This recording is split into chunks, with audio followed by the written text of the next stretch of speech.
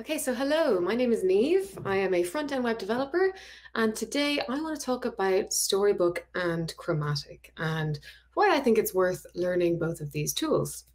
Now, if you are a front end dev, you might be thinking, oh my God, more front end libraries that I have to go and learn.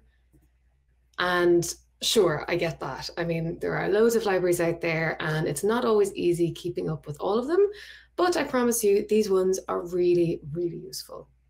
So I'm going to focus on Storybook for most of this talk, and I'll dive into Chromatic a little bit at the end.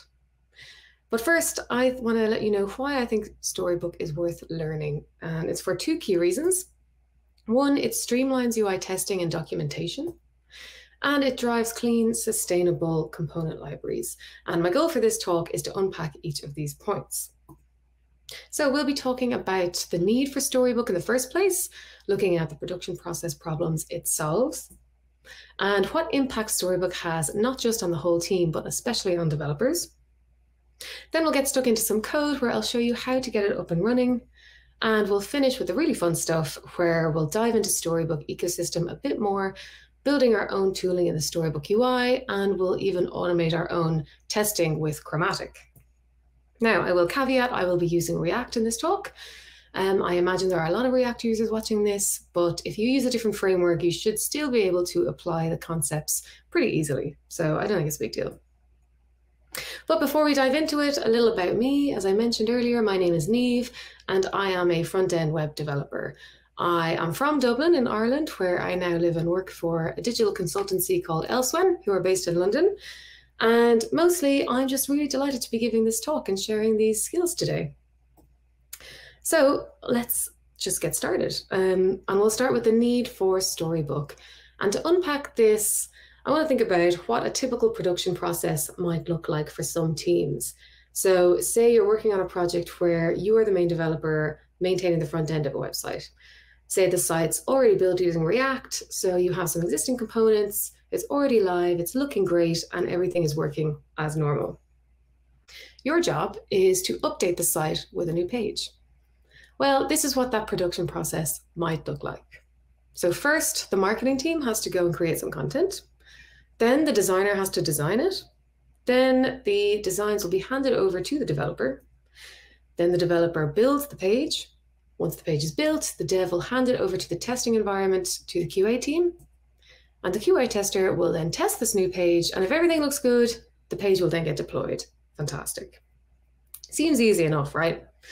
Well, not necessarily all the time. Um, and that's because oftentimes, as if out of nowhere, when the build finally reaches that testing stage, content often just doesn't quite fit. Say you might start to spot lots of niggly differences between the design and the build, where it might not look completely broken, but it also doesn't totally match the design either, which can be really annoying. And this happens because even though we're using the same components all the time, we're adding slightly different uh, content each time. So chances are it's going to look slightly different. So let's talk about how this impacts your entire team. Say this snag happens with your new page. You might think, okay, well, why don't we just change the content to make it look right? You absolutely could do that. And here's what that process might look like. First, the QA has to spot the snag. Then, if it's to do with content, they'll discuss it with the marketing team. The marketing team has to update that content. Once that's done, they will hand over to the developer. Then the dev will update the code. Then the developer merges it into the test environment and hands back to the QA. The QA then assesses the amends. And if the content fits, great, it's done. If not, you have to repeat this entire process all over again. So you can see the issue here, right? What seems like a small and straightforward change actually takes up a lot of resources and affects so many people on the team, but especially developers. Because, say, you know, there are multiple devs on a team, or people are hopping in and out of a project, you can easily end up in a situation where different devs are building multiple instances of the same components, and you just end up with duplicates all over the place. Thankfully, this is where Storybook helps us out. So firstly, what is Storybook? Um, Storybook is a front-end tool that's used by a lot of different companies like Elsewhen, GitHub, Airbnb, and Stripe, for example. and it lets you build and maintain components in total isolation. And what do I mean by isolation? Well, even though in your code base your component has its own file, usually by the time it gets to the browser, it's already incorporated into a larger design, working with lots of different types of content and elements on the page. Storybook lets you see every component on its own in the browser before you start incorporating anything else. So let's dig into it. I am going to take you through how to install Storybook, what it looks like both in the code and in your browser, how to configure your setup, and lastly, how to create some stories and add some fun tools to the UI. So for the install, I have used npm and create react app purely because it's nice and quick. So for the installation, it's important to note you cannot install Storybook on an empty project. You already need to have one set up. Um, Storybook supports most of popular fr front-end frameworks, so you can choose whatever you're most comfortable with. In this example, using Create React App, all you need are these three commands. So you download and execute Create React App, you navigate into it, and you start it up. Once that's up and running, you can then install Storybook. And you do this by navigating into your app, running npx sbinit, and then run npm run storybook to launch it. Okay, so let's say you have the installation done. Now, let's find your way around. And we'll start off by having a look at Storybook in the browser. So after running that last Storybook command, Storybook is going to automatically open up in the browser for you. And this is what it's going to look like. As you can see, it's got a nice beginner-friendly landing page to help you get started with docs and guides and examples. And in the main window here, you have what's called the canvas, which is where your components are going to appear. And on the left-hand side is a sidebar where your components are listed, and you can click into any of them to view them in this canvas. So let's take a look. So you'll notice here that under each component, you have these various versions listed. These are called stories, and they describe particular states of a component. For example, logged in or logged out, or primary, secondary, etc. All we need to know is that these are called stories. So as well as stories to display different states, you also have what are called controls, which can appear underneath the canvas here. Controls are how you play around with a component. So for example, with the button component, you can control its size, its label, and play around with different styles as well. As a developer, it'll be up to you completely which controls are added here. So you can add as many or as few as you like. Okay, so that's the browser. Now let's see what this looks like in our code environment. So in your file directory, you will see that Storybook has created a Storybook folder containing a main and a preview file. And these two files are where your Storybook environment is configured. So let's take a look at main first. Unsurprisingly, this is your main config file and is where Storybook's server behavior is controlled. For now, all we want to know are these key fields that were generated for us. Stories is an array of globs indicating the location of your story files. Add-ons is a list of add-ons you're using. Framework is your framework specific config to help loading a building. And core configures Storybook's internal features, for example, builders like Webpack. So that's all we really need to know about the main file. Let's have a look at the preview file. Now, this file controls the way stories are rendered. So for now, the only export is in here is the parameters object. And all we need to know right now is that this is where we're setting the parameters for all of our stories at once. We will come back to this file later on to add some fun decorators to our components. But for now, we'll leave it and we'll go and look at our story files. So to create a component story, we first have to create a story file for Storybook to read. And the file name should be structured with the component name followed by .stories.js or JSX or whatever you like. And once you do this, Storybook is going to put them into the browser for you. And this is essentially all you need to find your way around Storybook in the code environment. So you've got your two config files and your story components, and that's it. So next, let's tailor it to our own preferences. We'll start by adding our own dependencies. So I've downloaded style components to do some basic styling and build some design themes that we're going to use. I've also downloaded TypeScript and its relative type definitions for style components because I like having everything strongly typed and I highly recommend that you do as well. Now, you will obviously add whatever dependencies you like, but for now, I'm just going to stick with these ones to keep things simple. Okay, so let's say you've downloaded all your dependencies. Next, let's update our file structure a little bit. So on the left here is the file structure that's automatically generated by Create React App and Storybook, which is perfectly functional, but I prefer to have all of my components in their own folders with their relative styles and stories. So I've created a components folder in which each component contains its own index, style, and story file. And this is just my preference because I think it makes things a little easier to navigate, and I highly recommend it if you're just starting out yourself. And as you can see as well, I've downloaded TypeScript now, so I've also updated my file, na file names from JSX to TSX. Okay, so you might remember our main.js file is where we're telling Storybook to go and find our stories. So after changing the file structure, I want to update this main file to make sure that everything is still working.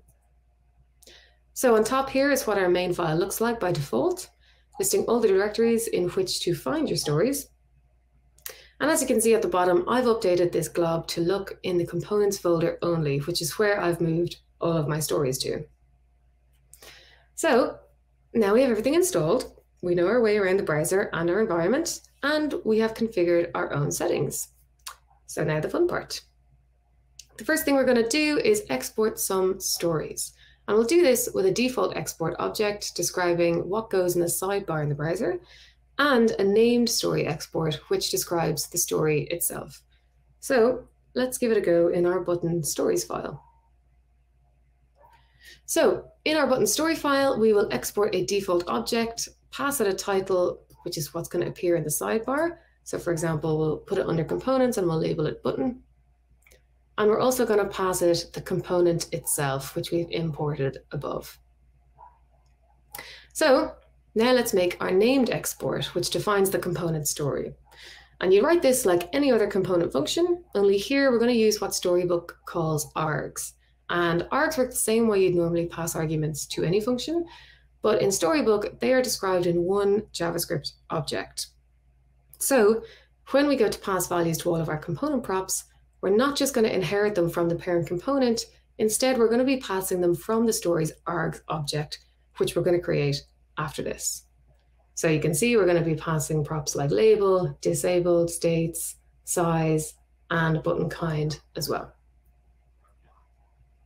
Lovely. So now we have our default export telling the browser what title and component to render the sidebar, and our first named export called primary. And we're calling it this because we're setting the button kind to primary so that it only inherits the primary button styles. Okay, so let's create our args object to pass some values to the rest of our props. So we will create primary.args, and from here we can pass whatever values we want, so long as they are the right types, right? So for example, the label prop is expecting a string type, so we'll set that to subscribe. Disabled is Boolean, we'll set that to false by default. And size is also a string, so we're going to set that to small. So now we have our beautiful args object. And from here, we're passing some default values to our component story. Now, I've already set these props up to work with style components, so depending on what values we pass, we should see some style changes to our primary story. So let's take a look at the button in the browser. Stunning. As you can see, we now have our primary button story, but what if we want to make a secondary story? Oh. Well, to do this, we just create another named function that uses the button, but this time with the secondary string passed to the kind prop and some default secondary values in the secondary args. And we can do this as many times as we want for each story.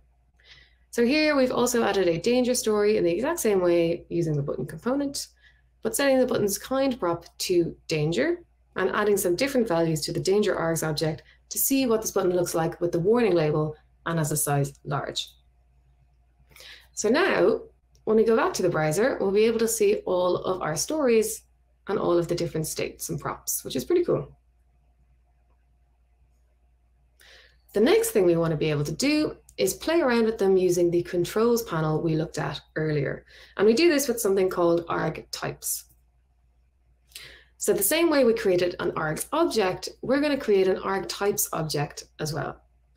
Each key is going to reference an already existing arg, and each value will be a control object. And all the control object does is it just tells the browser what type of editing control to give to this particular arg. So for example, label we know is a string, we want to give that a control type of text. Disabled, we know is a Boolean, so we'll set that. And size, we're going to give it a control type of select, which is a drop down. So we'll also be able to pass it an options array. And each item in this array is going to be one of the items in the drop down menu that the user can select from. So we'll give it small, medium, and large. So now, if we click the controls icon in our UI, it'll bring up the controls panel where we'll see everything we have just added. So for instance, you can see what your button looks like in a disabled state or an enabled state. You can use the drop-down menu in the size prop to see how it looks in different sizes. And you can do this for every different story. So you can see what the label looks like with different call to action in a secondary state, or you can see what it looks like in a danger state when it's disabled or enabled. So for example, here you can see what this looks like with a bunch of different components that I made earlier, like nav, headers, footers, etc. And we can use the controls to play around with the layout of this component, for example. Or we could even play around with the background colors of our title component using the color picker control, which is a nice bit of UI as well that comes out of the box with Storybook. So it's pretty nice. And you can reset them using that reset button on the right there.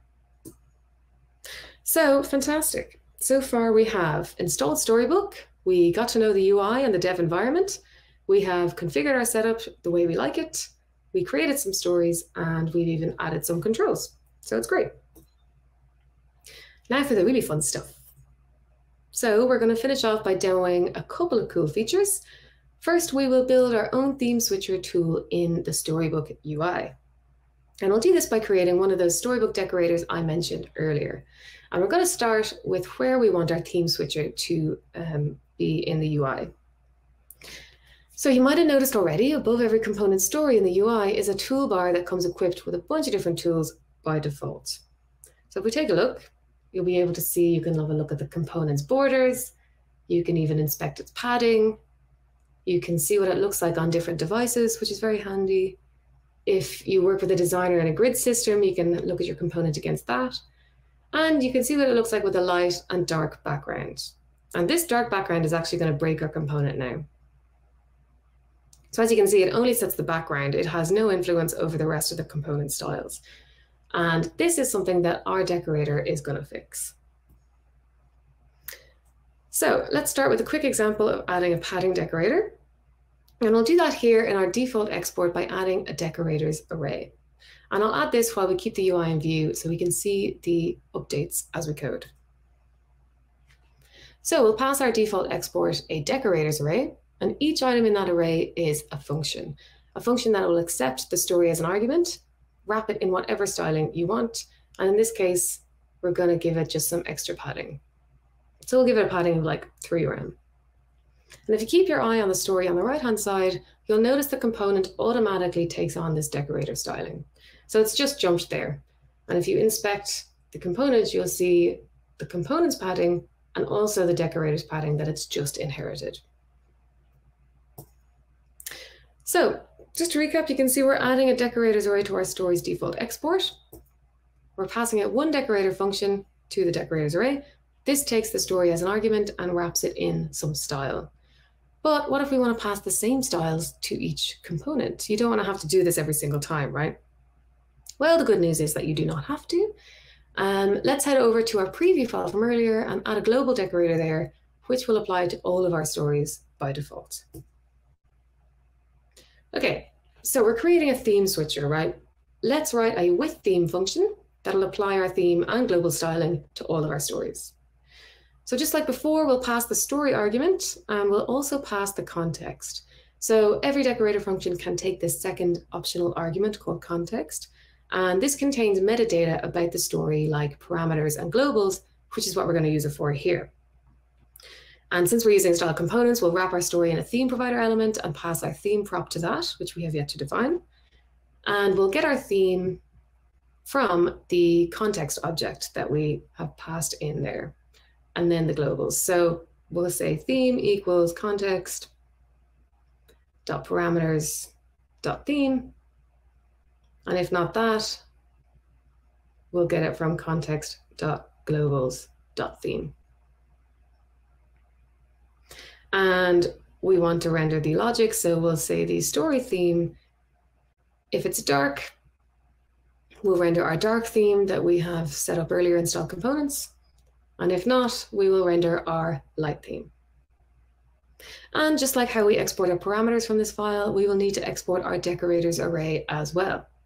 So we will export const decorators equals an array with one single function, which is with theme. Fabulous.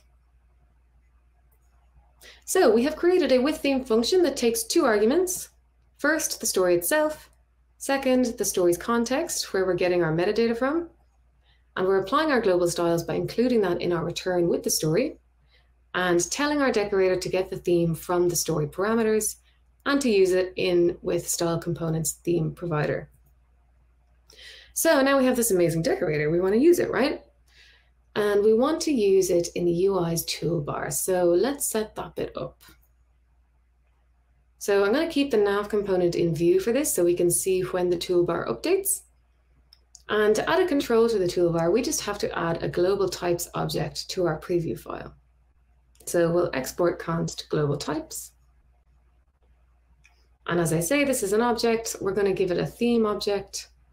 And that will take a name, which I think we'll just call theme. It'll also take a description, which we will set to global theme for components. We're going to give it a default value, so we want it to just be light by default. And we're going to pass it a toolbar object. So this is where we're setting the toolbar itself. In that object, we're going to give it an icon. We'll say a hollow circle to indicate the light theme.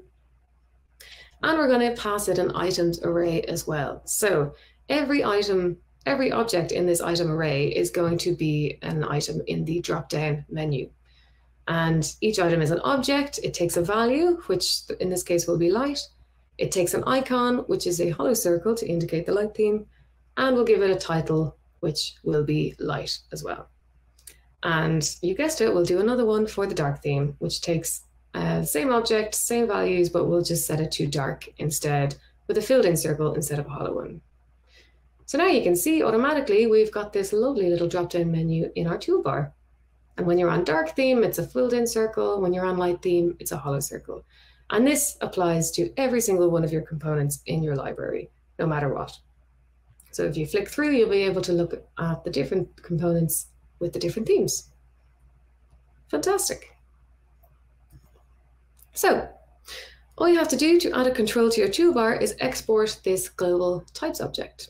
Now in the UI, when you toggle between light and dark, your toolbar item values are passed as your story parameters, which then get passed to your decorator function and used to decide which theme to render. Fabulous. Now, one last cool thing to show you before I finish up. We are going to automate some UI testing with Chromatic. So in case you haven't heard of it, Chromatic is a toolchain that helps ship your components faster. So it lets you publish your storybook library to their CDN. It provides visual regression testing on all of your components, and it enables UI reviews for your components as well. So I'm going to walk through what this looks like now. So I don't think I have time to go through the whole setup with you. You could do a whole other talk on Chromatic, but for now, I'll quickly mention how this process goes. So first, when you go to the Chromatic website, it'll prompt you to create an account with your GitHub. Then it's going to give you an app ID and a project token. And then give you a command you can use to publish your storybook to their CDN. So once you've done these three things, you will have an account, and I'll show you what that looks like. So when you're set up and you log in, this is what you're going to see, your dashboard. Click into one of your projects, you'll see all the different bills from that project. And you've got a menu on the left here. You can click pull requests and you can see which ones are open and which ones are closed. And you also have a library tab, which shows you the complete component library that's associated with your storybook. And what's really handy is that you can click on view storybook up here and will open up your Storybook library in its own link. And you can share this link with whoever you want, no matter what permissions they have or what kind of access they have. It's open to everyone, which is really handy uh, when you want to share your storybook with anyone on your team. Okay, so what's next? We are going to automate our UI testing. And to do this, you will need to add your Chromatic project token to your GitHub secrets, create a Chromatic workflow with GitHub actions that looks a bit like this. So here I've made a Chromatic YML file in my GitHub directory, and I've added in the steps I want Chromatic to run through every time I push some code to our repo. So I'm going to demo this by making a change to one of my components. So let's say I'm going to change some styling in my footer component. I'll go into my style file, I'll change the padding from 2 rem to 4 rem, and I'll save it. And I'm already on my footer styles branch here, so I'm just going to add those changes and I will commit them with a message saying feat increase footer padding. And once that's committed, I'm going to push it up to GitHub.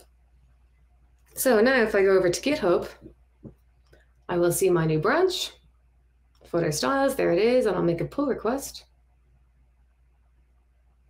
And now what's going to happen is once I make my pull request, we're going to see all of the different tests that Chromatic is automatically running. So you can see that the Chromatic deployment is already in progress here. And now you can see we also have some more tests that are pending. So we have our UI review, which is going to prompt you to have a look at the components and accept the changes yourself, and some UI tests that it's also running on any components that have changes to them. And as well, it's publishing to the storybook as well. So if we click onto details, say in the UI test first, it's going to take us into Chromatic, into the specific build, and you'll see here that it's got tests running for the footer component and the nav component as well. So if we want to review these changes, we just click on review changes. And it's going to take us through the components one by one. And you can have a look at the previous version on the left and the updated version on the right. And you can kind of toggle between the visual differences here using this button as well. So you can accept this by clicking accept and then it brings you to the next component. Looks good to me, so I think we'll just accept this one as well. Okay, great. So now all of our UI tests are passing because they've been accepted. Fabulous. If we go back to our PRs, we'll see we have our footer padding PR still to review. So increase footer padding here, one visual change found. If we can view change set here, you'll notice it's a similar thing here. You can flick between the differences and you can ping one of your colleagues to review if you want by assigning a reviewer, or you can just approve it yourself. So now you can see that all of the tests and all of the re reviews have passed. So I can go back to my GitHub PR. You can see now that all the checks have passed and I am able to merge. Fabulous. So that is it. So you can see here when we made our PR, we have deployed to Chromatic, we published our storybook, we triggered some UI reviews, and we triggered some UI tests as well. And this is really great because it treats UI reviews almost like code reviews, which makes it much harder for your components to visually regress over time. And other teammates get to review UI changes before they even reach a testing environment, which makes things so much more efficient. And that's it. So we've now made a fully working Storybook component library, complete with a custom-made theme switching tool and automated visual regression testing on all of our components. Fantastic. So if you just take it back for a second and remember this long, very convoluted production process from earlier, well, this is what it looks like now with Storybook and Chromatic. The whole team can do some visual QA as the dev builds, the QA then does final testing and then you deploy. Way fewer steps, way less back and forth between departments. Can you believe? So now your teams are much more independent across the board. Your dev team doesn't become a bottleneck every time you need to make any visual updates. Your component libraries are much cleaner and easier to navigate. Your docs are always up to date and your libraries are always being maintained. So if anyone's tempted to give it a go, I highly recommend it. Storybook has really great documentation and lots of tutorials and resources online. And there are lots of really cool add ons and plugins out there that you can use with other parts of your workflow if you want to run accessibility tests or plug your storybook into Figma, for example. It's all out there. So hopefully, after this talk, you're starting to feel a little less, oh my God, not another front end library, and a little more like Nicolas Cage in The Breeze. Stunning. So that is it from me. I hope you found this interesting. I hope you enjoyed it. You can find me on Twitter here where I talk about things other than Storybook. I should also caveat I don't actually work for Storybook, I work for Elsewhen, totally separate thing. Um, I'm just a big fan. So for now, I think, you know, there's nothing left to say, but thank you so much for listening.